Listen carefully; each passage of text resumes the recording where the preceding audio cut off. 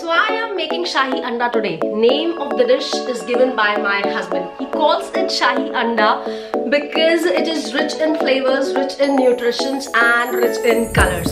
So this is not something very common you will see people preparing at their home. So I'm giving you a new experiment to do in your kitchens. So my husband loves it, my in-laws love it and I don't eat egg and I don't eat meat but I prepare everything. Quickly show you the ingredients followed by the recipe for Shahi Anda.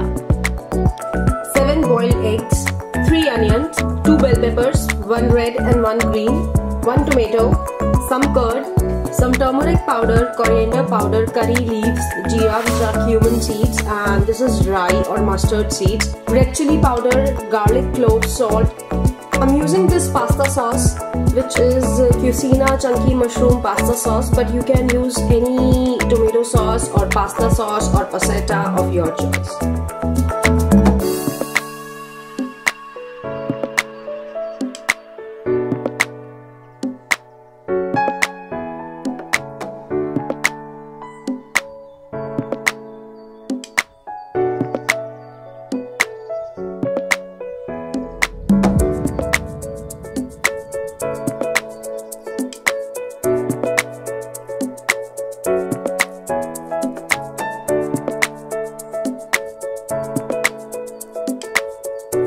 Finely chopped 1 tomato, 2 onions finely chopped and have diced big pieces of green capsicum, red capsicum and onion.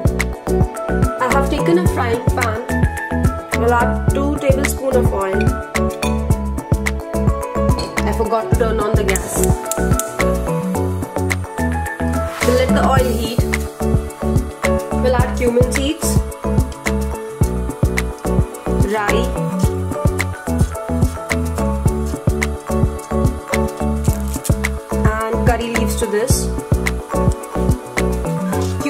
Seeds and mustard seeds have started spluttering. We'll add the onions now. We'll saute them.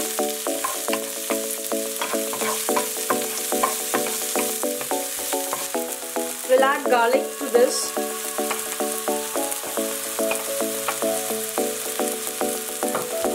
We'll saute it again.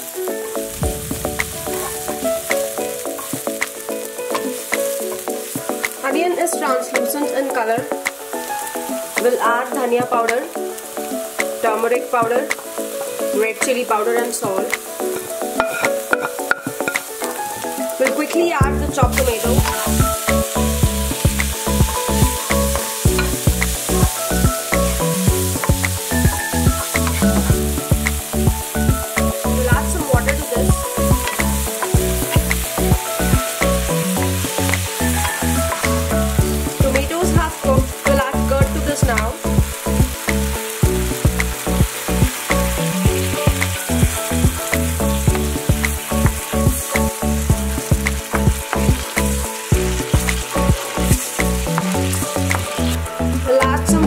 Sauce.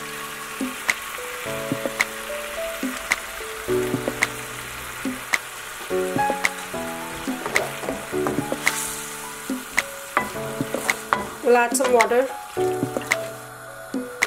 We'll add eggs to this now.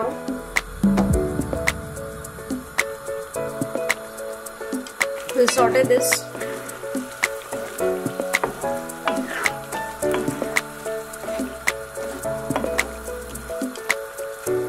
Will add onions, red peppers and green peppers to this.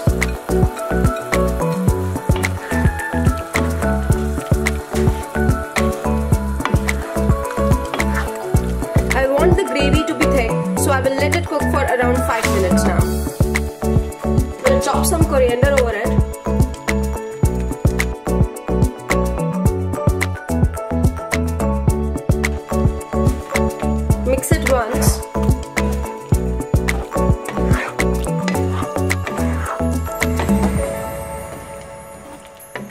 So Shahi Anda is ready. We'll serve it for you now.